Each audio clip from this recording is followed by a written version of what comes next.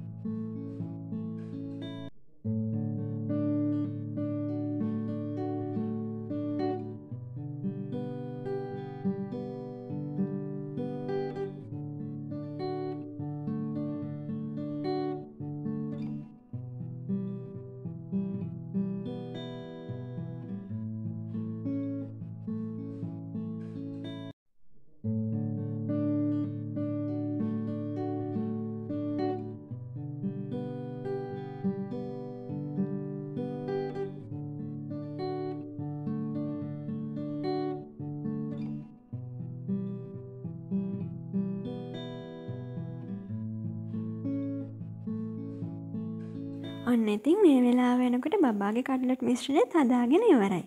දැන් ගුලි ටිකත් හදලා ඒ ටිකත් මම ෆ්‍රිජ් එකෙන් තියන්න තමයි හදන්නේ. ඉතින් මට හිතුණා චුට්ටක් තේ ටිකක් බිව්වොත් හොඳයි කියලා. මොකද රෑට කෑවට චූටි බඩගින්නක් ආවා. ඉතින් මං දවල් මේ විදිහට ටාට් හැදුවා. මට පුළුවන් විදිහට. හැබැයි ඒක රසට හොඳට ලස්සනට ආවා. ඉතින් මේකට හරිනම් චොක්ලට් පිරවුමක් එහෙම නැත්තම් පළතුරු ඒ වගේ දේවල් තියලානේ කන්නේ. ඉතින් මට ඒ දේවල් හදාගන්න වෙලාවක් තිබ්බේ නැහැ. මං ඒ නිසා දවල් නම් කෑවේ ජෑම් ගාලා. ඉතින් රෑට පැන් රස කන්න චුට්ටක් අමාරුයිනේ. ඒ නිසා මම මේක නිකන් කනවා කියලා හිතුවා. ඉතින් ඕනේ තේ ටිකක් එක්ක මේ වගේ ටාට් එකක් කන්න තමයි මම දැන් හදන්නේ. ඉතින් මේ වෙනකොට බබයි තාත්තී සාලි බෝල ගහනවා. ඉතින් මං තේ බොනකොට හරි කනකොට හරි මේ පුටුවෙන් ඉඳගන්නකොටම හරියට කූඹියෙක් පැන් රසට ඇදිලා යනවා වගේ බබා එනවා. ඉතින් දැනුත් උනේ ඒකමයි. මං තේ බොනකොට ඔන්න ඉතින් බබා ආවා. ඉතින් එයා දැන් ඇඟි මුත්තම් කරනවා. හැමදාම මේ විදිහටම තමයි සිද්ධ වෙන්නේ. ඉතින් ඔන්න අද නම් පුටුවට නැග්ගේ නැහැ. වෙනද නම් එහෙම කරන්නේ නැහැ. ඉතින් හෙට උදේ පාන්දරත් නැගිටින්න ඕනෙනේ. අපි දැන් හදන්නේ ඇඳ හදලා නිදාගන්න කියලා.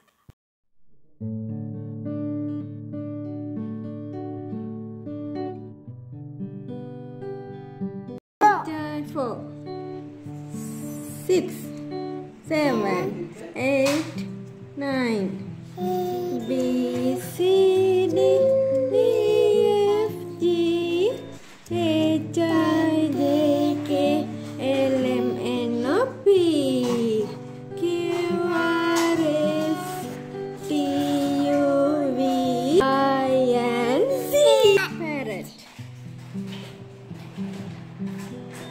Mistä?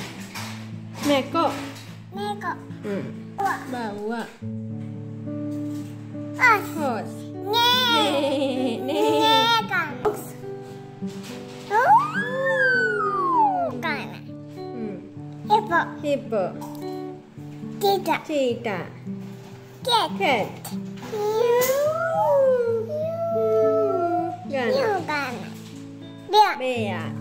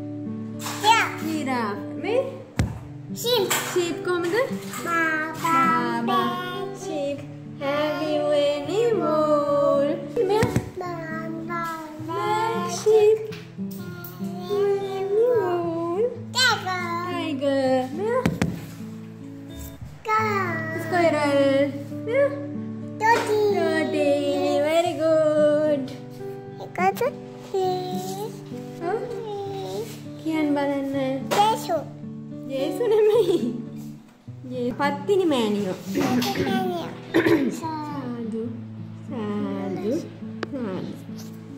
സാധു ഏമാണോ no No, no no no Yes. Punky. Make. Yes. Beet. Beet. Make. Radish. Radish. Radish. Hmm. Capsicum. Capsicum.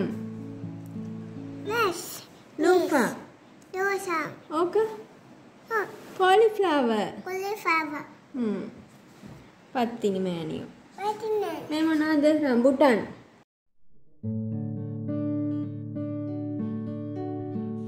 ඔන්න ඉතින් ඊළඟ දවසත් උදා වුණා. අද තමයි 2023 ජනවාරි මාසේ 22 වෙනි ඉරිදා. ඉතින් අද තමයි මේ අවුරුද්දේ අපි පන්සලට පූජා කරන පළවෙනි දාන යෙදලා තියෙන්නේ.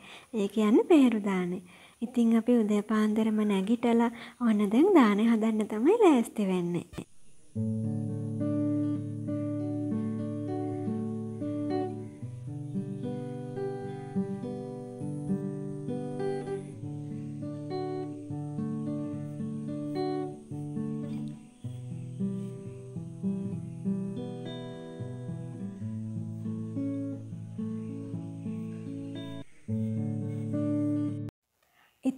ඉස්සෙල්ලම ඔන්න අයියා ලෑස්ති වෙන්නේ බත් ටික තියන්න කියලා. අපේ පන්සලේ ලොකු හාමුදුරුවන්ට දියවැඩියාව තියෙනවනේ. ඉතින් ඩොක්ටර්ස්ලා කියලා තියෙන්නේ බාස්මති හාල් හරි නාඩු හාල් හරි කන්න කියලා. ඉතින් ඒ නිසා අපි හිතුවා හාමුදුරුවන්ට මේ සැරේ දානෙට බාස්මති හාල් දෙමු කියලා.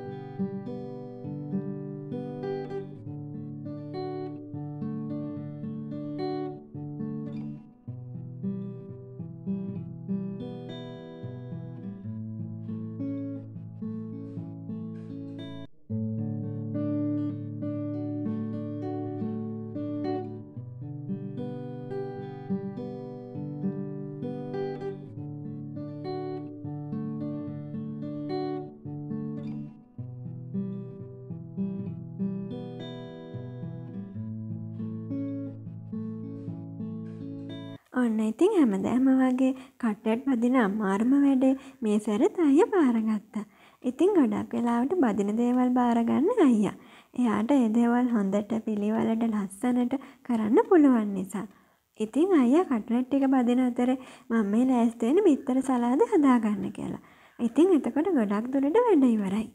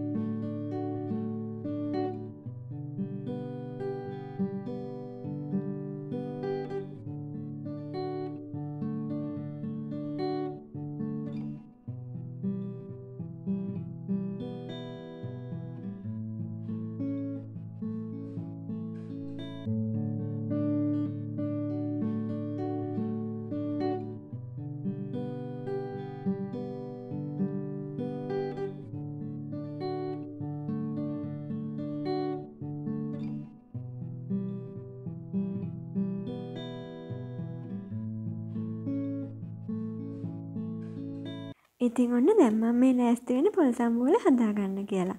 ඉතින් අද නම් පොල් සම්බෝල කොටලා හදන්න වෙන්නේ නැහැ. මොකද ගොඩක් හදනවනේ. ඒ නිසා මං හොඳට උඹල කඩ මිරිස් මේ දේවල් දාලා හොඳට අතේ තමයි අනාගන්න යන්නේ.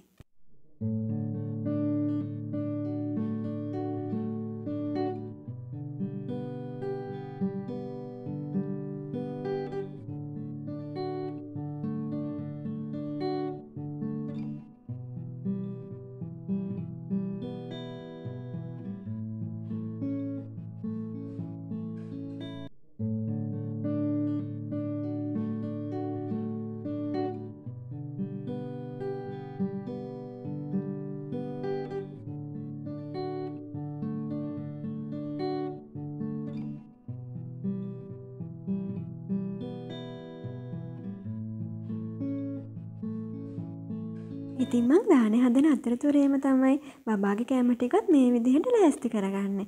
ඉතින් එතකොට අපිට තව අමතර වෙලාවක් යන්නේ නැහැනේ. ගොඩක් වෙලාවට මං කරන්නේ එහෙම තමයි. ඉතින් මං අද බබාට රාබෝ හදලා, ගොටුකොළ සම්බෝලෙකුත් හදලා, මාළු හදලා කටට් බදින්න තමයි හිතාගෙන ඉන්නේ.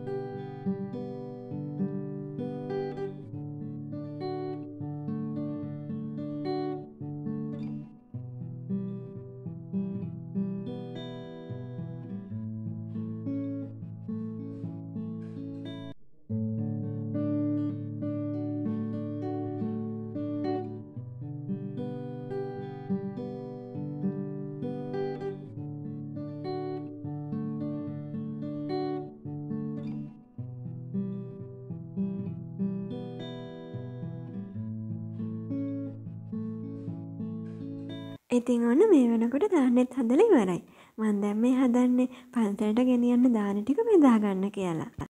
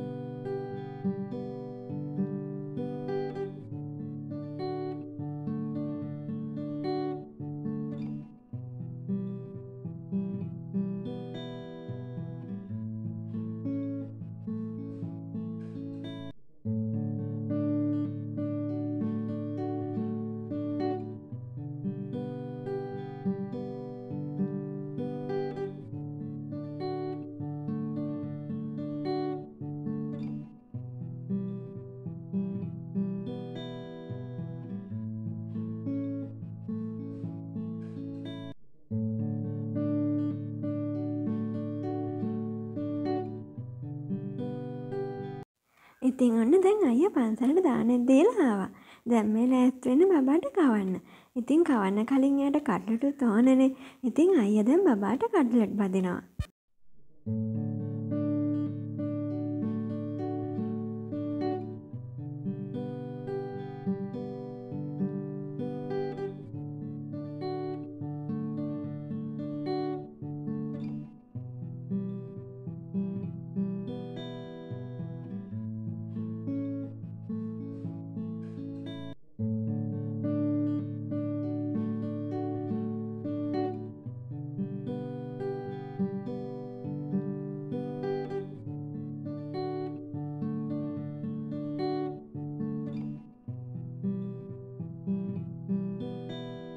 ඉතින් ඔන්න බබාට කවන්න කලින් අපි දැන් බුදුන් වඳන්න තමයි හදන්නේ.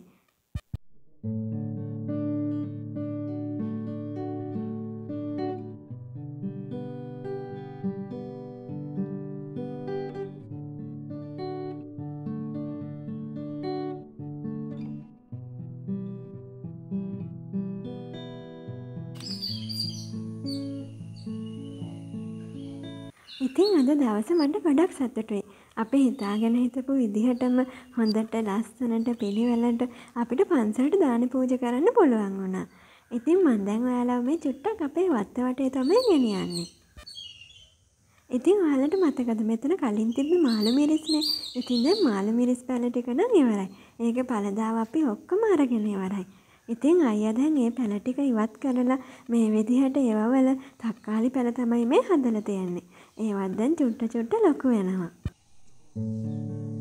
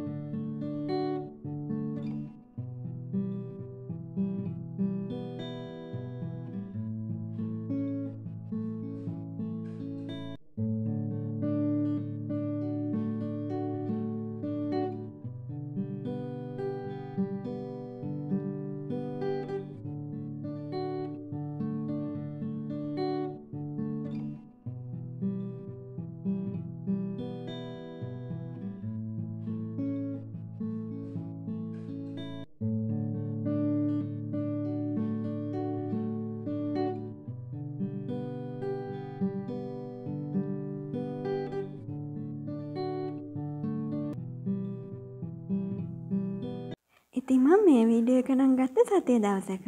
බබා අලුත් ඩාන්ස් එකක් පුරුදු මේ දවස්වල. ඉතින් මට හිතුණා ඒක ඔයාලත් එක්කත් බෙදාගත්තොත් හොඳයි කියලා. ඉතින් මං ඒ නිසා මේ වීඩියෝ එකත් මේකේ අන්තිමටම එකතු කරා. ඉතින් මං හිතනවා ඔයාලා මේ වීඩියෝ එකට කැමති වෙයි කියලා.